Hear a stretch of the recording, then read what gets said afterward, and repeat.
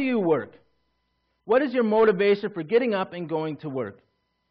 This morning, I'd like us to look at how we are created to work, what our attitude should be, and how we are to reflect God on the job. So let's start by looking at how we were created to work. So often we view work as a curse, right? Oh, I know that I easily get into that mindset that work is evil. Why am I being punished to have to go to work? Oh, if I didn't need the money, boy, I'd quit in a heartbeat. For a long time, I believed that work was a sin, right? I thought for sure there'd be an amen. I just want to live the fun life, doing whatever I want to do, just hanging out, going to wherever with friends, just living the fun life. But work is a major part of our lives, and it is important to God. In Genesis 2:15 it says, "The Lord God placed the man in the garden of Eden to tend and watch over it." God put man in the garden to work. Adam was given a job to do. This was before sin came into the world and corrupted it. There was work to be done. You know, when I was a kid, which was a couple days ago, uh, this is how I pictured the garden Adam and Eve lounging around and not having to go to school, not having to go to work. They got to play with the animals, swim all day, get to play tag. Tag, you're it, hi, run. You know, dodgeball, little dodgeball, eating whatever they wanted. Well, except that one fruit from the tree. I pictured it like being a child with no worries and all play. Beautiful garden, just get to hang out and play. But there was work to be done. There was work to do and things to watch over in the garden. Genesis 1 26 through 28. Then God said, Let us make human beings in our image, to be like us. They will reign over the fish of the sea, the birds in the sky, the livestock, all the wild animals on the earth, and the small animals that scurry along the ground. So God created human beings in his own image. In the image of God, he created them. Male and female, he created them. Then God blessed them and said, Be fruitful and multiply. Fill the earth and govern it. Reign over the fish in the sea, the birds in the sky, and all the animals that scurry along the ground. God is a worker.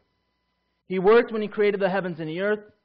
We see his work all around us, and he continues to work in this world and in our lives.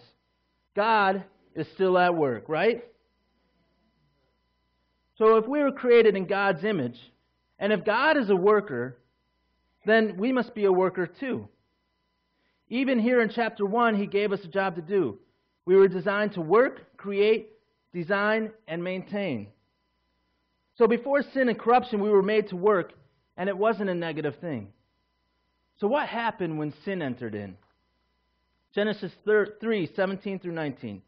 And to the man he said, since you listened to your wife and ate from the tree whose fruit I commanded you not to eat, the ground is cursed because of you. All your life you will struggle to scratch a living from it. It will grow thorns and thistles for you, though you will eat of its grains. By the sweat of your brow you will have food to eat until you return to the ground from which you were made. For you were made from dust, and to dust you will return. So now work went from a beautiful thing to a burdensome and frustrating thing. The curse was not that we have to work, the curse is labor. Hard labor, pain, and hardships was now introduced because of sin. Even though there is sin and we're now cursed with labor, we are still called to work. Our attitudes toward our jobs can be seasonal. There are times that we really enjoy it. There are times where we hate it. There are times where we really like the job, but not so much some of the people that are with us. There are times that we like our coworkers, but not the job. There are times that we really like the money and the benefits, and that's it. There are many seasons. There was a period of time where I was really struggled in my occupation. I had been working for Metro Transit, cleaning and fueling buses on third shift, which I hated third shift. The first years of my marriage, I would literally be passing Stephanie by at 5 p.m. as she was coming home from work. I was going to work. And so we'd wave, and that would be uh, how we saw each other for the first years. So I didn't like the hours. The job was the same thing every night, and I worked with some difficult people. I visioned a different plan for my life, and I felt like I was stuck. I was stuck. I was there because the money and the benefits were good. That was it. You know, I wanted to be a pastor so that I could make a difference in people's lives. I wanted to bring Jesus to people's hearts.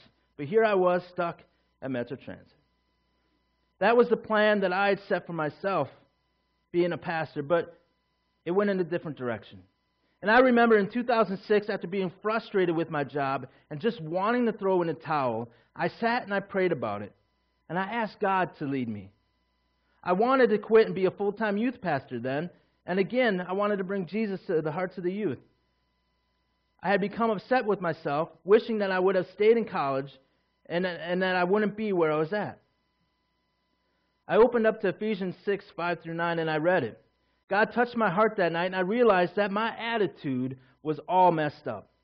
I had to stop looking at all the negative things. I needed to stop looking at what I wanted and start looking at what God wanted for my life.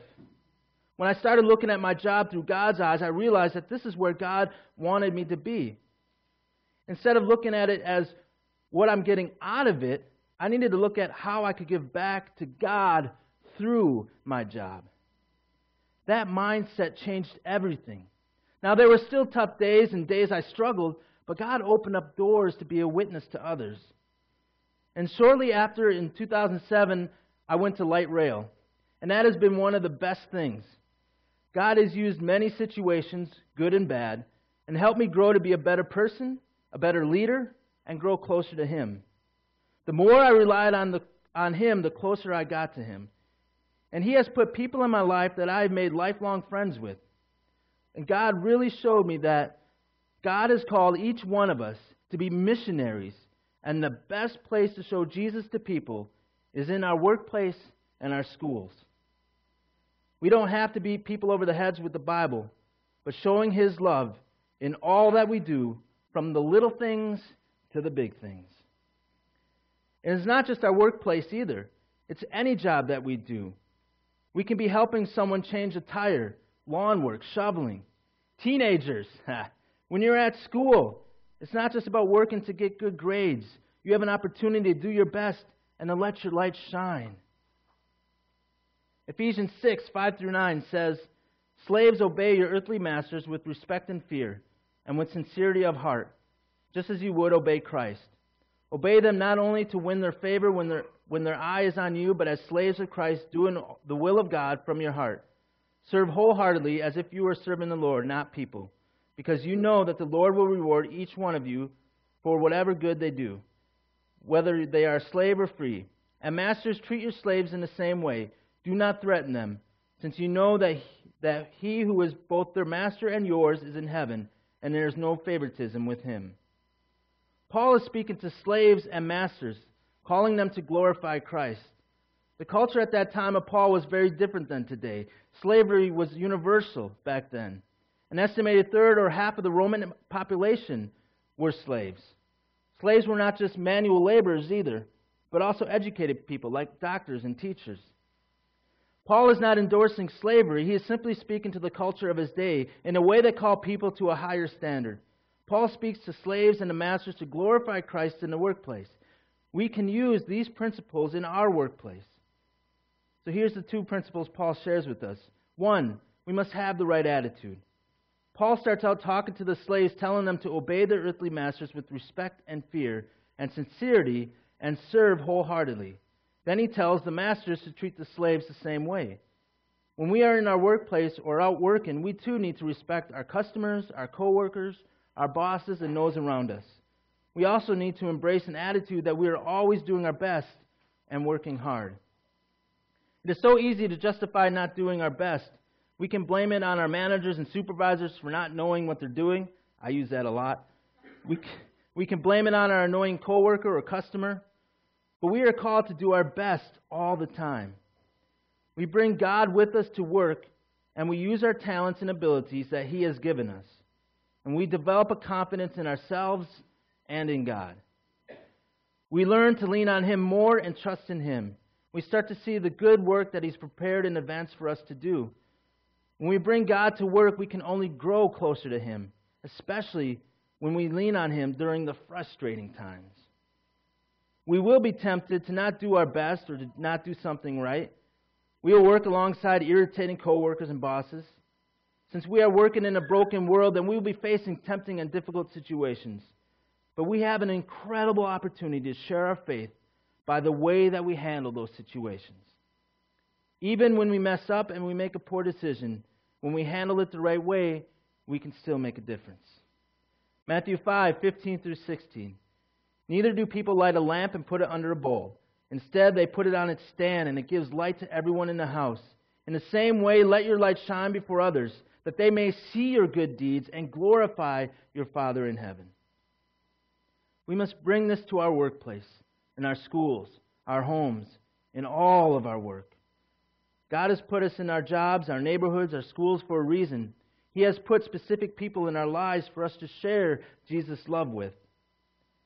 The second principle is to remember who we work for. Looking at verse 7 and 9 again, serve wholeheartedly as if you were serving the Lord, not people. And masters, treat your slaves in the same way. Do not threaten them, since you know that he who is both their master and yours is in heaven, and there is no favoritism with them. Favoritism with them. We are to respect those in authority, but we are to remember who our ultimate boss is. When we approach our jobs with God as our ultimate boss, then we look at our work as service to Him. When we work for our earthly bosses, they give us a paycheck for our work. But when we work for our God, we are fulfilling our calling, the work that He has given us to do in this life. And we will be rewarded, which is greater and better than any amount of money or any benefits that we can receive here on earth. When our attitudes change and we are working for God, our jobs become so much more than jobs. We turn our job into a place where we can worship God. Each project that we are doing for Him becomes an offering. Romans 12:1 And so dear brothers and sisters I plead with you to give your bodies to God because of all he has done for you let them be a living and holy sacrifice the kind he will find acceptable this is truly the way to worship him this would also include our jobs which should be considered as a spiritual act of worship in Colossians 3:23 through 24, whatever you do, work at it with all your heart, as working for the Lord, not for human masters, since you know that you will receive an inheritance from the Lord as a reward. It is the Lord Christ you are serving. When we have the right attitude and we are working for God, then whatever we do, big or small, He will take it and He will use it to further His eternal kingdom. And we get to be a part of that. Isn't that amazing? When you think that we get to be a part of that. He gets to use us. We get to be his vessels. And we get to see God at work. We get to watch his plan unfold as it works in other people's hearts and lives. Not always in our timeline or the way we want it, but we get to watch God work.